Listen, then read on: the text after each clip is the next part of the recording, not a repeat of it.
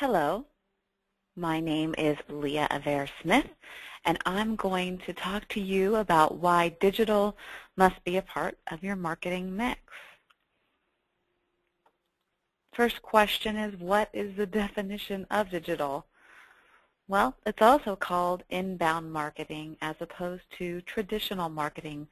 Traditional marketing is usually where a brand is pushing out a message or a certain campaign while inbound marketing is when customers or potential customers are actually seeking information about a product you offer or your brand through blogs or podcasts or white papers, natural search, or social media marketing. And inbound marketing costs 71% less per lead than traditional marketing.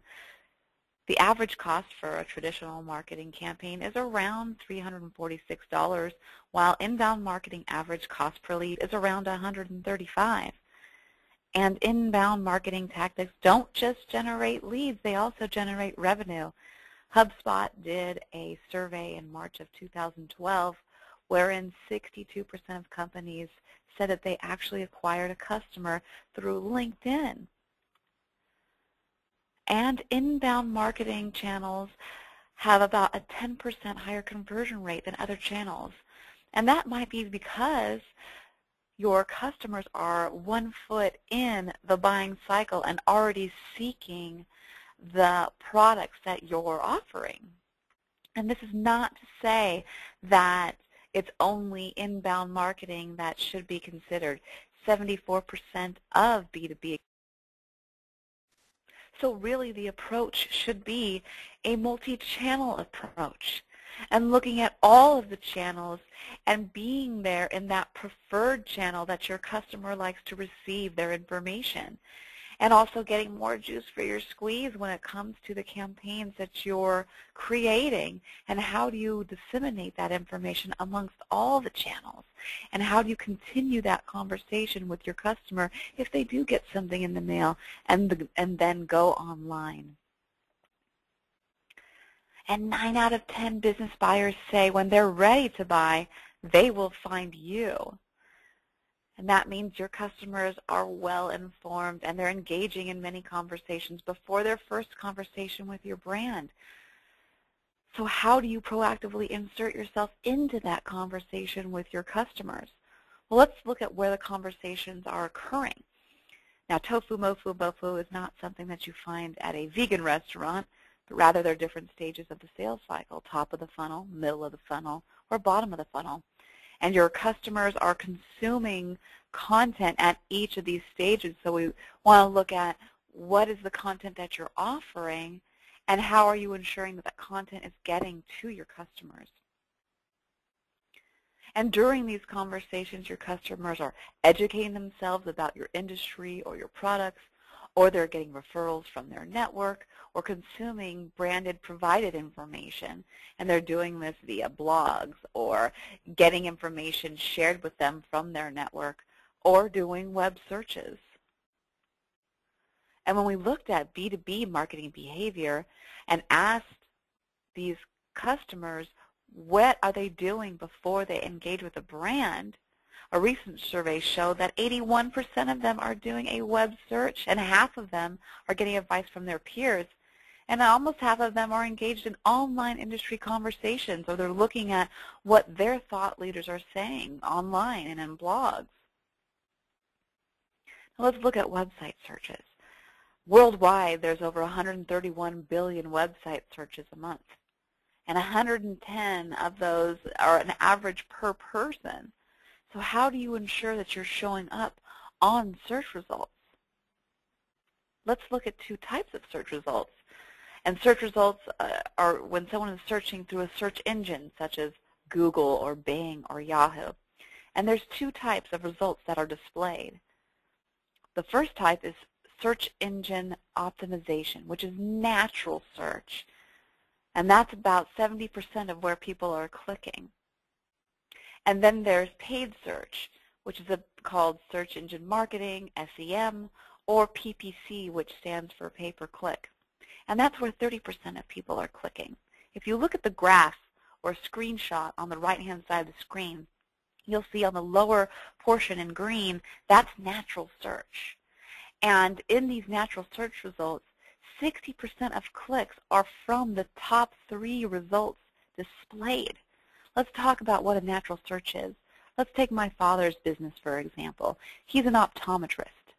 Now, if someone's searching for his name, Dr. Henteleff, then they, they already know who my father is, and I, and I hope if they search for Dr. Henteleff, he actually shows up there. But what his goal should be is for people that are searching for him that don't know who he is, that might be searching for Studio City optometrist, or neighborhood optometrist, or fashion eyewear, or VSP insurance. And that's what he should start to rank for. Those search engines need to see that he is a content expert in those keywords. So that is your goal, is to become a, a content expert in the eye of the search engines. If we take a look at the top portion, which is paid ads, SEM, that's also very, very key in a search campaign. These are words that you actually pay for and bid on. So he might be bidding on words such as fashion eyewear or studio city or na friendly neighborhood optometrists. And the, the good thing about paid search is that it's, you can get nearly instant results and it's scalable. You can set a budget and you can stick to that budget and you can turn it off and on or dial it up and down as you see fit. And you can also manage those keywords and dial up on the ones that are doing well and dial down on the ones that are not. Let's talk about paid search for a moment and how you can continue that conversation with your potential customer. Best practice proves that you will get increased conversion rates if someone searches for you and lands, and they click on the ad, and they land on a page that continues that conversation. Here's an example of Crystal Cruises, a luxury cruise liner. If someone searches for Mediterranean cruise and they click on one of the ads or search result displays, it will take them to a microsite that talks specifically about Mediterranean cruises. If you take that person to a general landing page that talks about all cruises and they're going to have to search again, you run the risk of losing that potential customer. And in terms of the landing page, Crystal Cruises is actually also using that landing page for when they're sending out direct mail pieces. So for an example, a direct mail piece can highlight the Mediterranean cruise and have a link there so when customers go online, again, it takes them to that Mediterranean cruises landing page. Let's go back to natural search, SEO, and what are the four pillars of success that you should be concentrating on to ensure that the search engines are seeing you as an expert in your industry. One, technical structure. You want to ensure that the structure behind your website is technically built in such a way that the search engines recognize the content on the page. And that means that the structure behind the scene must be seen by the search engines. So the code behind a website is much like Braille, the search engines. And if it's not done correctly, the search engine is blind to that content. Next is link building. So part of the secret sauce of search engines and how they rate you as a content expert is how not only are you linking to information on your website internally, but how other web assets are linking to you. So for instance, if you create, create dog houses and someone links to your website from maybe a roller skating rink, that's not going to get you points. But if the Society of Dog Breeders links to your website, then the search engines are going to start to recognize you as an expert. And most importantly, it's the content on your website and gaining a steady stream of new visitors to your website by refreshing that website content and by blogging. Attracting new visitors is how your blog grows by converting those new visitors into regularly visiting customers. And the reason why blogs are so popular and implemented so often is because it's really easy to actually push content out. You don't need a developer to go into the website code and update content once your blog is set up. It's very easy for anybody to update that content through that blog. And lastly, gaining more conversions by designing based on what your customers are telling you they like. So looking at A-B or multivariate testing and where to put calls to action and constantly looking at that information to see are you getting those conversions that you need. If the call to action is placed maybe in the upper left-hand corner as opposed to the upper right-hand corner. And getting back to blogs, B2C companies that blog generate 88% more leads more than those who don't. And for B2B companies that generate, that do, that engage in blogs, generate about 67 more leads than those who don't. So again, that content is king. And here are some ideas about how to disseminate that content and channels to disseminate content, whether it's a video or whether it's through white papers or blogging. But beware, because 75% of B2B executives said that they want less marketing content and more content that helps them build a business case.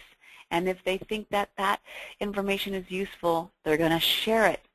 And 79% will share it through email, or they'll share it through LinkedIn, or they'll share it through Twitter. And if they share it, again, that provides the search engines with more data for their secret sauce algorithm to start to see you as an expert in that content area. And what type of content do business executives like? 88% of them still read white papers on a weekly basis, and 75% of B2B executives are watching videos on a weekly basis as well. And no surprise that video engagement is going up. It was up 13% last year worldwide. And YouTube, which is now Google, is still the top destination for watching videos. And you better be mobile friendly. Over 1.2 billion people access the web from their mobile devices, and 61% of people have a better opinion of a brand when they offer a good mobile experience and a customer will disengage from a brand for three months if they have a bad mobile experience. And considering email as well, not just your websites. More email is now read on a smartphone than a desktop, and 13% of executives are now primarily checking their email on mobile devices. And if that email doesn't look good, 79% of people will delete it, and 18% of the people that receive the email will unsubscribe. So you want to make sure that those emails are mobile friendly where you have large fonts and you're sticking to the 320 by 550 pixel and that you've got thumb friendly buttons. And don't forget the anatomy of an email is very important. You want to make sure, specifically in that golden rectangle, in that preview screen, that people should know who you are, what you want them to do, and have them take an action in that preview screen. And what makes people open up an email? Well, they love the word exclusive.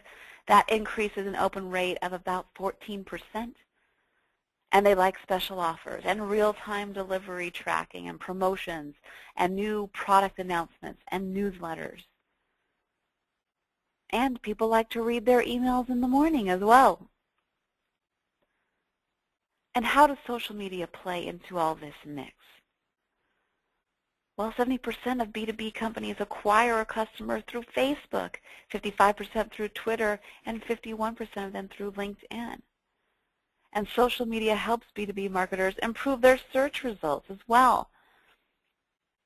And also, in a study done, B2C companies with over 100 followers have about 146% more leads a month than those with less than 100. So it really is important to start engaging in social media, and not just for social media's sake, but you do want to hit what is that passion point of your target audience and try to pinpoint that and create a community around that passion point. and especially for small businesses. More than a third of U.S. small businesses say that social media helps them get found online. And here's an example. This was from MusclePharm. They cultivated over 300,000 followers. And so this is from a, an example for the nutritional supplement industry, how social media can play a part. So in summary, integrate digital and inbound strategies into your marketing mix, and be a content expert in the eyes of search engines, and provide useful content that helps your customers build a better business case. Be mobile and use social to build relationships with your customers. Well, thank you for tuning in.